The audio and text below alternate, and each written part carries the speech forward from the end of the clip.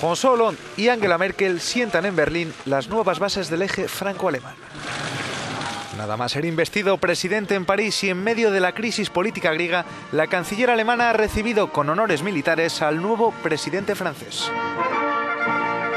Después de una reunión que ha durado aproximadamente una hora, los dos mandatarios han escenificado, en una rueda de prensa conjunta, el buen entendimiento que existe entre los dos países.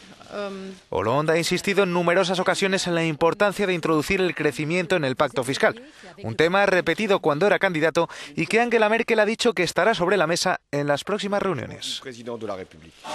Los dos mandatarios han dejado claro la importancia que tiene que Grecia no salga del euro.